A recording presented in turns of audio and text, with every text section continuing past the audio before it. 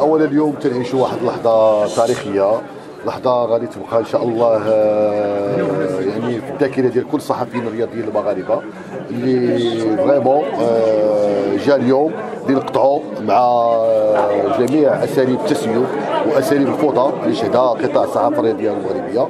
فاليوم ترجمة الاتفاقيه الشهيرة اللي كنا وقعناها بقر وزارة الثقافة والتواصل بحضور السيد الوزير بن سعيد ورئيس المغربية لكره القدم سي فوزي الرجاع ورئيس اللجنه الأولمبية سي فيصل العريشي حضرنا التظاهرات الرياضية الكبرى ديال سواء مشاركة المنتخب الوطني المغربي في كان كوت ديفوار أو مرافقة فريق نهضة بركان إلى مصر.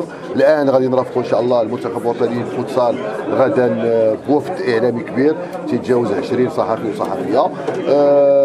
كان من أجل ترجمة هذه الاتفاقية هذه ومن أجل تنظيم التظاهرات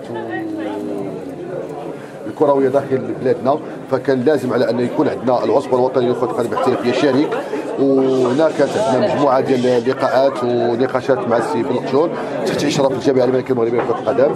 بحضور آه، السي فوزي القجع. والحمد لله لقينا يعني الأيادي ممدودة والأبواب مفتوحة. اليوم وقعنا هذه الاتفاقيه من أجل تنظيم الولوج إلى الملاعب الوطنية المغربية.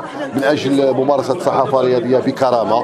من أجل أن الصحفي الرياضي تكون عنده مكانته تكون عنده هيبته تكون عنده قيمته تكون عنده مكان آه، خاص به تكون عنده مكان الولوج خاص به يكون عنده مكان تصوير خاص به آه، يكون صحفي يعني أنه متميز أمام الجماهير خصوصا أن الآن آه، كرة القدم هو المنتوج التسويقي سواء على الصعيد آه، الوطني أو على الصعيد القاري أو الصعيد العالمي. فما يمكننا إلا نكونوا إحنا كصحفيين ولا مشرفين على قطاع الصحافه المغرب على أننا خصنا نكونوا مستوى التحدي مستوى الأوراق مفتوحة.